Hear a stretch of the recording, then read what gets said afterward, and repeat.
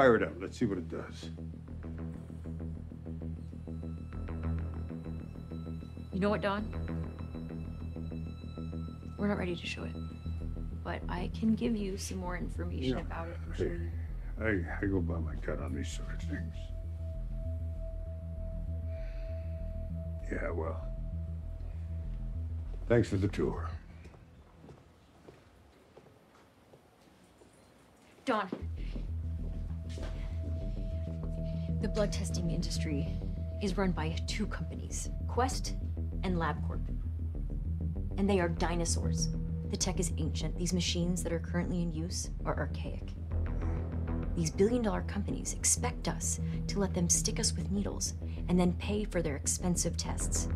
No, this is America. We're cowboys, right? We should be in control of our own healthcare.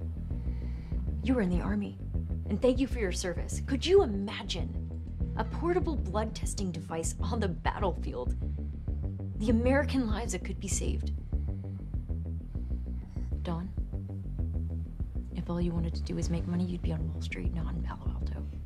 And when Larry Ellison came to you with his vision for how Oracle could organize data, you didn't tell him he was crazy. You said, How much do you need?